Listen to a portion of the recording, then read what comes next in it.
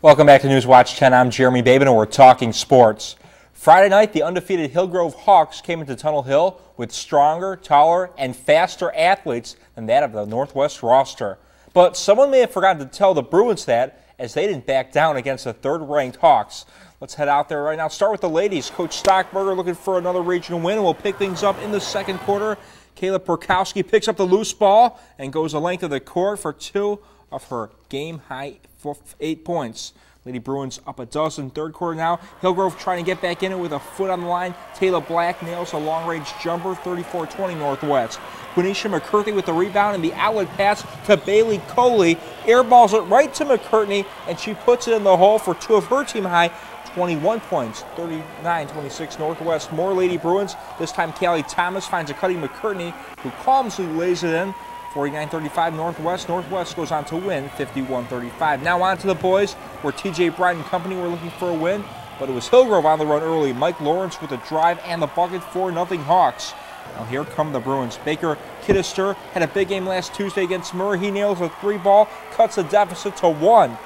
Three minutes to go in the first. Hillgrove's Million Rockster drive stops, and pops and drops the 16-footer 6-4 Hawks but Northwest responds.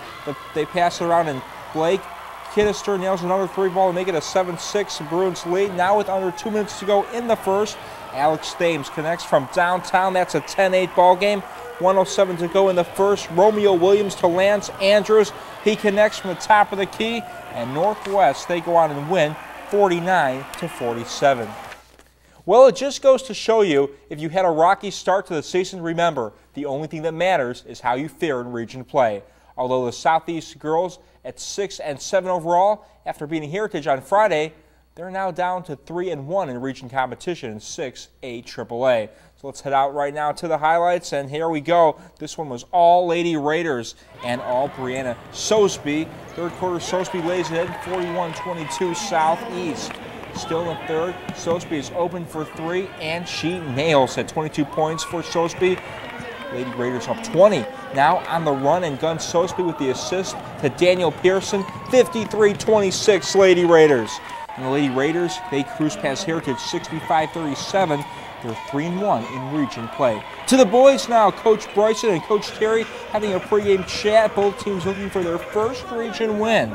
And after falling behind 2 nothing, watch this run by Southeast. Zach Harper, three ball up, three ball in. 3-2 Southeast. Now Bradley Grant's going to step up the three ball right here and nail it 12-2 running Raiders with 30 seconds left in the first. Second quarter, Trey Paris from the corner. Count it. 15 to 2 Raiders after going on a 20 0 run that lasted seven minutes on the game clock. Hunter Cornelius. He's going to stop the bleeding, make it 20 to 5 Southeast, and Southeast would hang on for their first region win as they go on to win 61 to 58.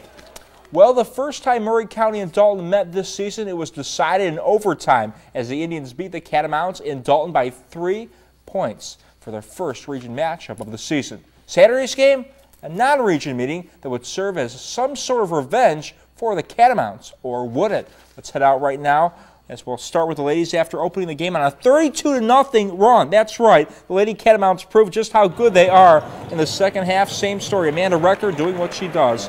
37 to 4 Dalton. And at the other end, Emily Broderick going to come up with a huge block. And here we go. And off the rebound, back Dalton's way. Rector from the top. Yes, ma'am. Lady Catamounts, they sweep Murray in the season series winning 55-35 and are now 10 and 4 on the season. Well, to the Dalton boys, Dalton hoping to avoid dropping to 5 and 8, but it wasn't easy. It wasn't looking good either. First possession, John Kaiser with a steal, and Chase Sanford floats the finish, 2 0 Indians. Later in the first, Tanner Long had a huge first half, 14 of his 20 points coming in the first. Murray up by 8, but Cass Cole, he finished with 18, keeping it close, 12 to 6. Dalton trails, and that must have made the Indians angry because in the second quarter, the floater by Chase Sanford capped a 15 0 Indians run. 27 6 Murray, 36 18 at the half. And by the third, Garrett Sanford, he puts three more for Murray. Things getting a little tight now in the third quarter. You remember Murray giving up that huge lead to Northwest the other day? This bucket by Dantzler and a foul cuts it to 45-38. Indians lead. However, this time the Indians were not going to get this lead away. Tanner Long puts the Indians up by 11 in the fourth. Indians, they sweep all this season and win 66 to 59. Well, Saturday the Bruins travel to LFO, and while the Twin Towers of Northwest have been pretty effective all season, so have Kayla Weaver and the rest of the Lady Warriors. Let's head out right now. And little, this game wasn't a snoozer, but this kid didn't know it, and it was because of plays like these in the fourth quarter. Callie Thomas is going to take it all by herself, the hoop and the harm, 46 to 44. Northwest, more Lady Bruins. Bailey Colley finds Emily True, and she nails the triple to put the Lady Bruins up 50 to 45. Lady Warriors on offense now. Ashley McKenzie up with a shot, and Quenisha McCurtney says, Bring that garbage out of my dumpster. One of three blocks on the night. More Lady Bruins off the miss. McCurtney's there for the putback. She had 16 points and 15 rebounds on the night. Time for the boys after the girls won 59 to 51. That kid's still snoozing. Second quarter, though, it's Lance Andrews going up for the shot, and Seth Weaver says, Talk to the hand. 6.06 to go in the second quarter. LFO's Matt Shannon ahead to Travis Keefe for the lay-in, 9-6 Northwest. More Warriors. Travis Keefe rebounds a shot and to go up strong for the bucket. Count it, and one coming to the line, 9-8 LFO. Here comes Northwest with 4.32 to go in the second. Caleb Tatum to Alex Thames. Three ball up, three ball in. Thames had 12 on the night. More Bruins. Michael Kelly, the baseline jumper, going to make it a 17 to 12 Bruins lead.